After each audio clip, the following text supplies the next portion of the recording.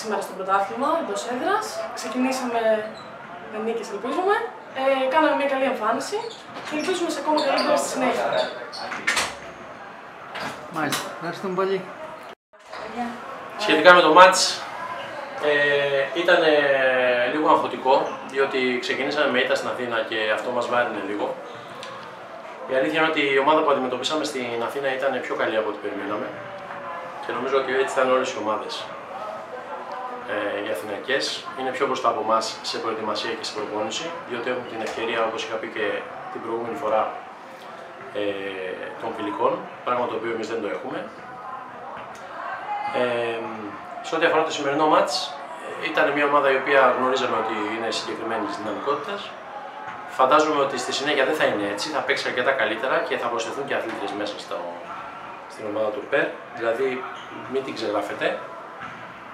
Από εκεί και πέρα, εμείς ε, θεωρούμε ότι από παιχνίδι σε παιχνίδι αυτό που δεν καταφέραμε να, το κάνουμε, να κάνουμε μέσω των φιλικών θα το κάνουμε μέσα από τα επίσημα παιχνίδια. Την άλλη εβδομάδα έχουμε πάλι Αθήνα, Πετρούπολη, πολύ δύσκολη έδρα, πολύ δύσκολη ομάδα. Ε, αλλά και εμείς ε, θα είμαστε όλο και καλύτεροι. Νομίζω ότι και από αυτό το μάτι, όπως και από όλα, έχουμε να διεκδικήσουμε και θα πάρουμε κάτι.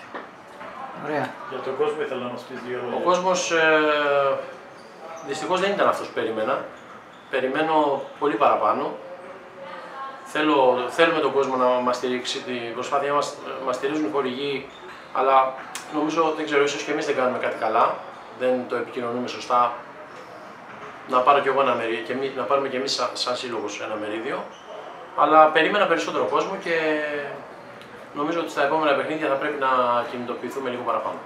Ακόμη τα διαρκεία είναι μια δήλωση, ξέρω ο κόσμο. Τα διαρκεία κυκλοφορούν από τον Ιούλιο μήνα, έχουμε πάει αρκετά καλά, έχουν μείνει ακόμη μερικά.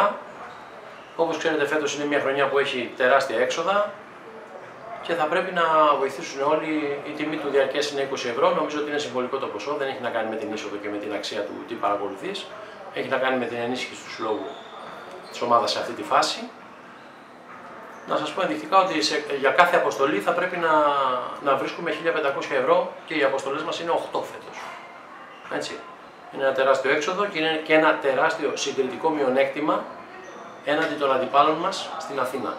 Οι οποίοι θα μετακινηθούν μόνο δύο φορές, ερχόμενοι στη Μεσαρά και στον ΟΠΕΡ και στο Ρέθιμο.